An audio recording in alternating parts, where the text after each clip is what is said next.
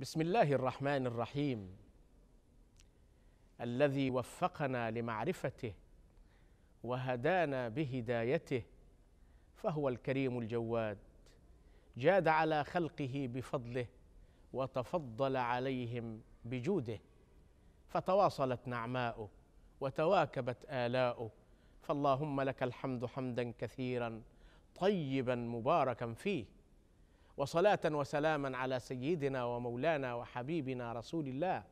صلاة يا ربنا نسألك بها أن تفرج عنا ما نحن فيه وأن تكشف عن الأمة غمها وهمها بفضل الصلاة على حبيبنا. ورضوان الله تعالى على صحابته الأبرار الأئمة الأخيار ومن صار على المنهج واتبع الطريق إلى يوم الدين. وبعد فلقد تردد على ألسنة الناس هذا القول. المؤمن كيس فطن. هذا ليس من قول رسول الله. المؤمن كيس فطن. هذا ليس من قول رسول الله. إنما هو من قول أنس ابن مالك رضي الله عنه. ويتردد هذا القول كثيرا على ألسنة الناس ناسبينه إلى رسول الله بغير علم حتى أنه يكتب في بعض الكتب مرددا على أنه من قول رسول الله. وأيضا يردد على المنابر وفي المنتديات وفي اللقاءات منسوبا إلى رسول الله وهو في الحقيقة لم يقل ذلك. المؤمن كيس فطن هذا من قول أنس بن مالك وليس من قول رسول الله صلى الله عليه وآله وسلم. فما هي الكياسة؟ الكياسة حسن تقدير الأمور والحكم عليها بمنظار الوسطية وعدم الإفراط فيها وكذلك جعلناكم أمة وسطا.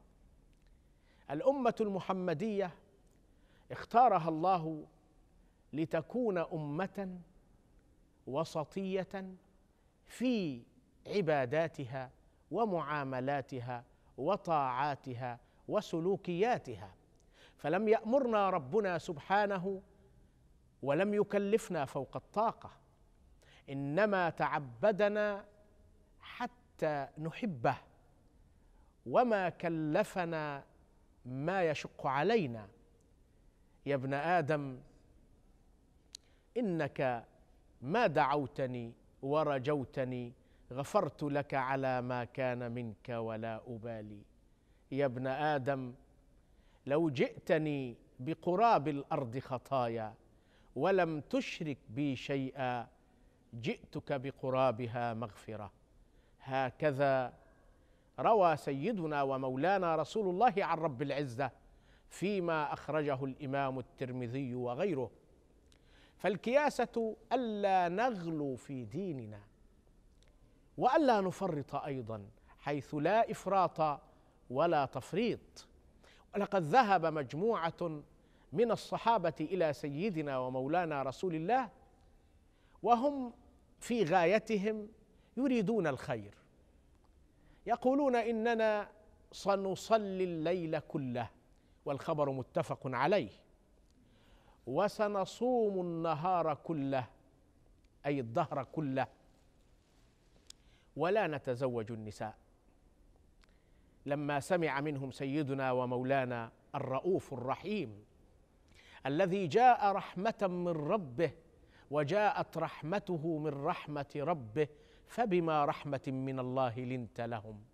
ولو كنت فظا غليظ القلب لانفضوا من حولك. لما سمعهم سيدنا ومولانا رسول الله اعترض على هذا التقرير الذي أورده هؤلاء وقال لهم معقبا على ذلك أنا أصوم وأفطر وأصلي وأنام.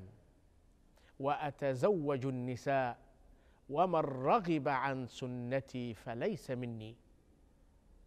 إذا الكياسة في مراد القول الذي قاله سيدنا أنس رضي الله عنه تعني أن نقدر الأمور تقديرا صحيحا والا نكون مفرطين في تعاملنا مع غيرنا والا نشق على أنفسنا وألا نعرض أنفسنا ما لا تطيق.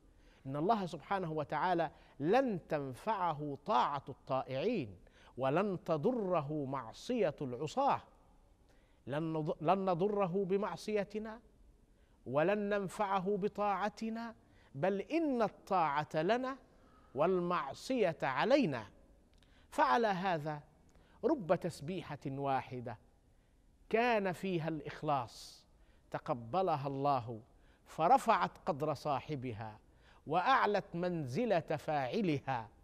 وربما طاعات كثيرات أداها الإنسان بغير إخلاص وبغير نية لله. جاءت يوم القيامة صحائفه فارغة منها. فالمرء ابدا ينبغي أن يفعل لله. فمن كان يرجو لقاء ربه فليعمل عملا صالحا ولا يشرك بعبادة ربه احدا. الغلو منهي عنه في الدين. الذين أخذوا بظواهر النصوص اولووا أعناقها ليسخروها لأهدافهم وغاياتهم إما افراطا وإما تفريطا. نقول لهم إن مراد الله واضح في كتابه وإن مراد رسوله بين في سنته. فمن أراد أن يستمسك بديننا عليه أن يأخذ من أهل الذكر والا يجعل مرجعيته إلى الذين يأخذون بظاهر الأمور. فكثير ممن لا علم لهم يقفون عند آيات واضحات بينات من كتاب الله. أو على سنة واضحة بينة من كلام رسول الله ثم يسخرون ذلك كله لغايتهم وهدفهم. نقول لهم نحن في حاجة إلى الكياسه وإن سيدنا أنس قال المؤمن كيس فطن. أما الفطنة فمعناها أن تفهم أغوار الأمور وأبعادها وهذه لا تعطى إلا لمن اختصه الله بها. الفطنة صفة من صفات المؤمنين ينبغي للمؤمن الصادق مع ربه الصادق مع نفسه أن يفطن لما يدور حوله. إذا رأيت عدوا يحشد لك قوته ويريد أن يسطو عليك. افطن إلى أنه يريد القضاء عليك. فجمع نفسك ووحد كلمتك وارفع رايتك وأيد عملك بصدق النية مع ربك واعلم أن العزة لا تنال ولا يصل المرء إليها إلا بأعمال صالحات طيبات نجعلها قربات إلى رب البريات. بدل أن نقول هذا القول نذكر ما قاله الحبيب وهو حديث حسن. أخرجه الإمام الترمذي في سننه من رواية سيدنا شداد بن أوس وكذلك أخرجه الإمام الحاكم في المستدرك وصححه الذهبي وقال عنه العلامة الألباني إنه حديث حسن. يقول حبيبنا المصطفى صلى الله عليه وآله وسلم الكيس من دان نفسه وعمل لما بعد الموت. من دان نفسه أي لم يزكي نفسه. إذا رأى عمله ناصعا أمام يديه فلا يتباهى ولا يتفاخر ولا يظنن أن هذا العمل هو الذي يكون منجاة له يوم لقاء ربه مهما عمل من عمل عليه أن يستصغره أمام نعم الله التي أنعمها عليه. مهما أدى من طاعات فهي أمام فضل الله عليه أن جعله مسلما وخصه مؤمنا لا تساوي هذه الأعمال شيئا أمام هذا الفضل وهذه النعم التي أسبغت عليه ظاهرة وباطنة. ولا تزكوا أنفسكم هو أعلم بمن اتقى. اذا المؤمن من دان نفسه يظل يؤنبها يخاطبها يا نفس خافي فإن العمر قد هان واخش الهوى فالهوى ما زال فتانا. يا نفس مالي للأعمال أعملها وحدي يا نفس مالي للأعمال الأعمال أعملها وحدي وأخرج من دنياي عريانا. إذا دان الإنسان نفسه خضع وخشع قلبه واطمأن فؤاده وجد وسعى وفر إلى بارئه وخالقه وأكثر من الإقبال عليه لكنه إن اغتر بما فعل واستشاط كبرا وعجبا بما أدى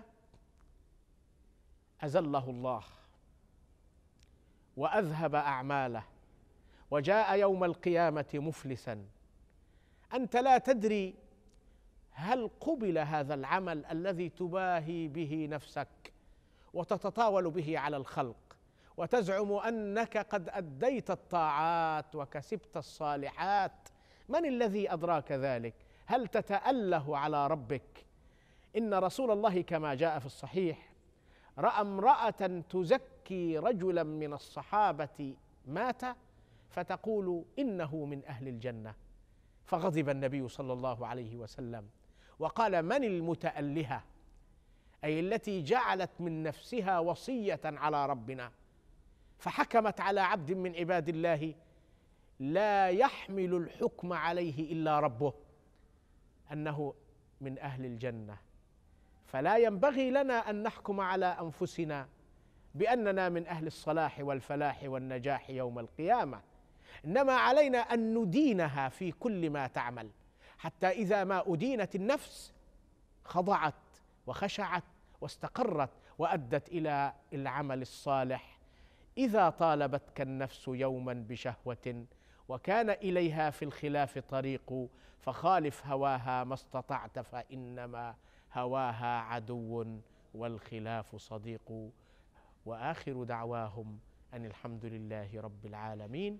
والسلام عليكم ورحمة الله وبركاته.